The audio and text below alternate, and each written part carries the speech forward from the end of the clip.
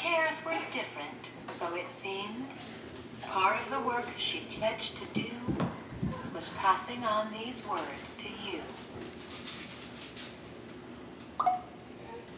One of Sound asleep nights, on them. I hope quite soon, dream that you leap up to the moon. There you will find a wise old friend who has a point of view to lend. Once you see from this distant view, awareness Now never can